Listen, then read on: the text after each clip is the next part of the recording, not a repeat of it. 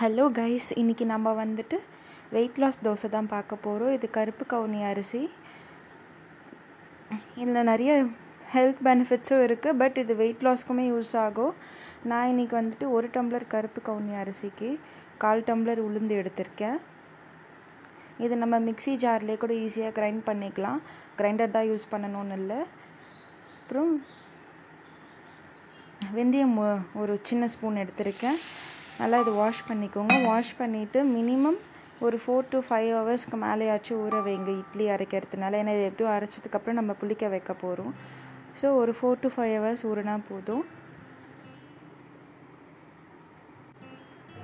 நான் மிக்ஸி ஜாரில் தான் கிரைண்ட் பண்ணியிருக்கேன். எப் எப்பயும் போல் தோசை மாவுக்கு இட்லி மாவுக்கு நம்ம கிரைண்ட் பண்ண மறுநாள் வந்துட்டு மார்னிங் தோசை ஊற்றுறேன்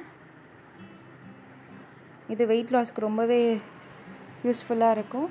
கேரட் வந்து நம்ம போடுறதுனால இன்னுமே நம்மளுக்கு வந்து க- இந்த தோசையில் இருக்க கசப்பு தெரியாமல் டேஸ்ட்டாக இருக்கும் நம்மளுக்கு சாப்பிட்றச்ச. ஹெல்த்தியான கருப்பு கவுனி தோசை ரெடி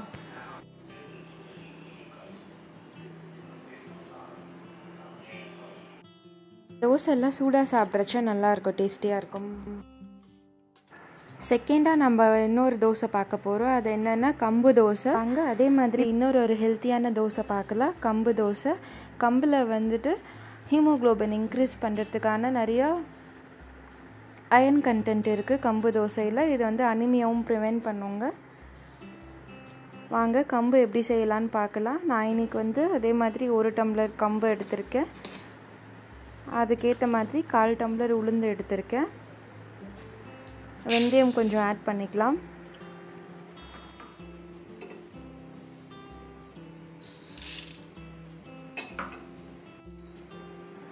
ம், நம்ம கம்பு வந்துட்டு ஒரு டூ டு த்ரீ ஹவர்ஸ் வந்து சோக் பண்ணால் போதும். நல்லா வாஷ் பண்ணிவிட்டு சோக் பண்ணி வச்சுக்கோங்க. எப்பயும் போல் இட்லி தோசை கரைக்கிற மாதிரி நம்ம அரைச்சிட்டு ஃபர்மன் பண்ணி வச்சுட்டா போதும் நைட்டு நம்ம மார்னிங்கில் நைட் அஸ்பெஷல் யூஷுவல் தோசை ஊற்றிக்கலாம் இந்த தோசைக்குமே வந்துட்டு கேரட் நல்லாயிருக்கும் டேஸ்டியாக ஹெல்த்தியான தோசை இருக்கும். ஸோ இந்த ஈ தோசை ஈஸியாக செய்யலாம். அதே மாதிரி நம்ம தேர்டாக வந்து பார்க்க போகிறது இது வந்துட்டு மாப்பிள்ளை சம்பா அரிசி.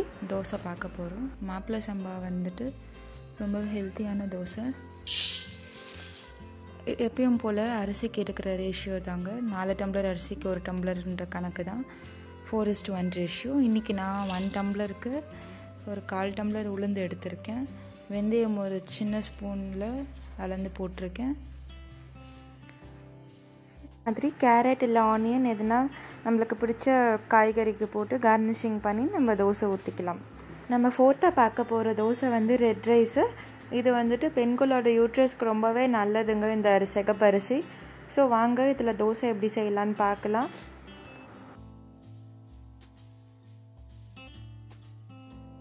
நான் சேம் மெஷர்மெண்ட் தாங்க எடுத்திருக்கேன். ஒரு டம்ளர் அரிசிக்கு கால் டம்ளர் உளுந்து எடுத்திருக்கேன். கூடவே வந்துட்டு வெந்தயம் ஆட் பண்ணியிருக்கேன்.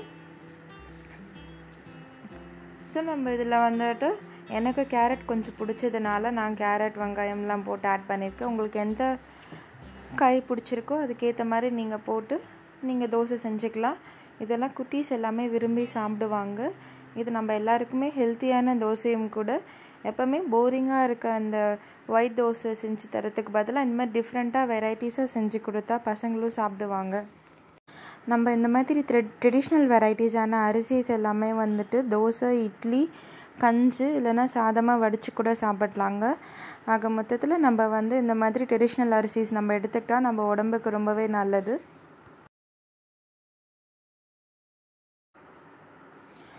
ஃபிஃப்த்தாக நம்ம பார்க்க போகிறது வந்துட்டு பச்சை பயிறு தோசை இது பெசரட்டு தோசைன்னு கூட சொல்லுவாங்க. இதுவும் அதே சேம் மெஷர்மெண்ட் ஒரு டம்ளர் பச்சை பயிருக்கு நான் கால் டம்ளர் உளுந்து எடுத்திருக்கேன். நம்ம உளுந்து போடாமல் செஞ்சாலுமே தோசை நல்லா வரும் கிறிஸ்பியாகவே வரும். அவ்வளோதான் இந்த சிம்பிளான இந்த ஃபைவ் டிஃப்ரெண்ட் டைப் ஆஃப் தோசையை செஞ்சு நீங்கள் பசங்களுக்கு செஞ்சு கொடுங்க சாப்பிட்டு பாருங்கள் இதே மாதிரி வேறு ஒரு ரெசிபீஸில் பார்க்கலாம். மறக்காமல் சேனலை லைக் பண்ணுங்கள் அதே மாதிரி ஷேர் பண்ணுங்கள் சப்ஸ்கிரைபும் பண்ணுங்கள் வேறு ஒரு ஹெல்த்தியான ரெசிபீஸில் பார்க்கலாம்.